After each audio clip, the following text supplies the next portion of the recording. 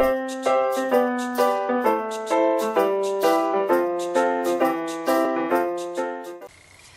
everyone, this is Becky from Patchwork Posse.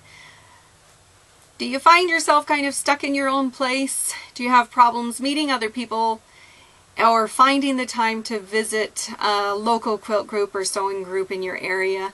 I have just the solution for you.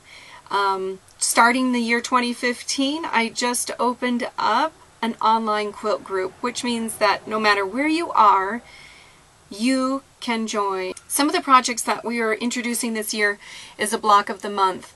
And just for fun, I made it two sizes. So you've got a 12 and a half inch size block or you have a six and a half inch size block. So you can choose. Each block is a new technique. So we've got hexagons in there, applique, um, a little bit of paper piecing, traditional piecing. We're going to be learning how to keep our quarter inch seams straight and other fun goodies. Um, along with that, we're going to have monthly challenges. These challenges are related to kind of the topic or technique that we're going to be discovering and trying out with our block of the month. We'll have a mystery quilt, we'll have swaps. Um, we've of course got wonderful sponsors during throughout the year that will be supplying giveaways in the form of gift cards to use online and online stores.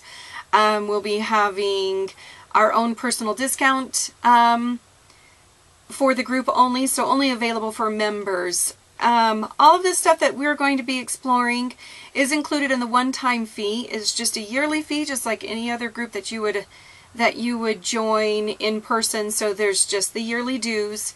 Um, and that covers you for the full year of 2015. You get full access, PDF downloadables. You can save them forever on your own computer and sew them whenever you want. Um, lots of other stuff. We're going to be diving into the world of orphan quilt blocks and so dig through your piles, find those projects you haven't finished, and let's put those blocks maybe not into the original piece that it was uh, meant to be put into or finished, but we'll find a new project for it to go into. Um, each month, or I believe it's quarterly, each quarter we're going to have a new uh, pattern that will involve a different size block. So time to stash bust and get rid of those those projects that have been lingering for way too long.